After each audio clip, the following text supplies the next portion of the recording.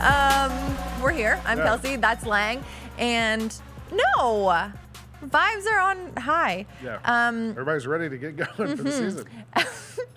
every season, Yeah. as you know, we sit down and say who's going to be the rookie of the year, as we did last week, and then we do every single postseason award. Today, we are doing the big guy. I personally think this is like The the, one, yeah. right? Like MVP, most valuable player. I have Lang two honorable mentions. If you'd like to hear them, or we can just dive right into our top three. Well, yeah, I want to hear your honorable mentions. Okay, my honorable mentions. That might be my actual candidate. oh my god, uh, imagine. So Jayson Tatum. Yeah. I don't think he's going to win MVP, but I think he's like he'll, at the end of the season he'll be like up in the discussions. Okay. Number two, this pains me to say because I think this human being is lovely, but Joel Embiid. Okay. I don't think I don't think it's his year again. I have an honorable, honorable mention too. Mm-hmm. Uh, Nikola Jokic. Okay. All right. Who are your top three? Number three for me is Nikola Jokic. All right. Uh, I personally think that he is one of the best, not one. I think he's the best basketball player in the NBA in terms of like all around stats. Yeah. You know, like he can pass, he can, he obviously can score, he Doesn't can really rebound. play defense, but doesn't really have to. Yeah, but MVPs are more offensive anyway. Yeah. That's my number three. My number three is Kevin Durant Oh my God. because he's kind of kind of been quiet the last few years, and now they're got trying to build this super team in Phoenix, Mm-hmm. and it feels like it's time for a KD year, Okay. I don't hate that. big KD year. I don't right. see it happening, but I don't hate that. Sure. Um, okay, my number two. Now this might be a little wah wah. Yeah. Luka. Luka is my that. number two. I just think he, I mean, this is what I hope for him. I hope he comes back after last year, after kind of having a bad taste in his mouth at the end of the season, and plays how I know that Luka can play. Do I think he has like that dog in him that like makes you like MVP ish? Like, no. Mm.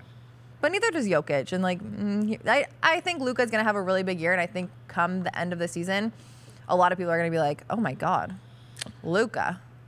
My number two is Joel Embiid because I feel like once this Harden thing works itself out and they get they move Harden whatever, like Embiid's going to be asked to play an even bigger role Yeah.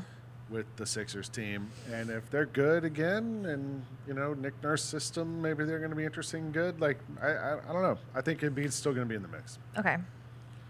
Look, I'm not against that. I like Joel Embiid. Okay, sure.